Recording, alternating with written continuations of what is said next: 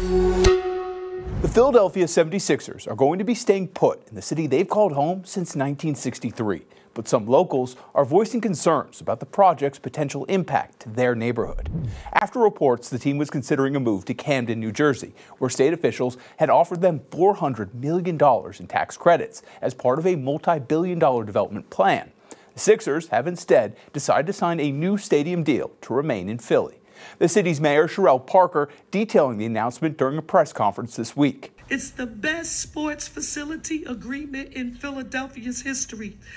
It keeps our hometown 76ers playing in Philadelphia at least until 2061.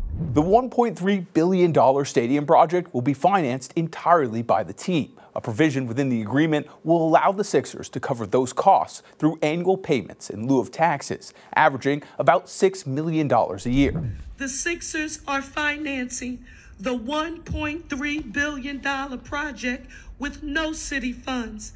That is an approach that is unprecedented among our local sports facilities.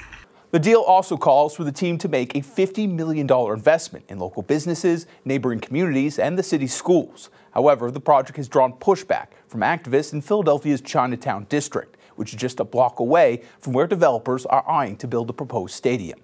Protesters say the new arena will disrupt or displace residents, forcing older people, low income families, and new immigrants to move out. It follows a pattern that's going on in our city where developers want to displace people who they see as insignificant. The project still needs approval from the city council before it can move forward, but if it ultimately gets the green light, demolition work in the area would begin in 2026 with construction starting two years later. Officials hope to open the arena in time for the 76ers 2031 season.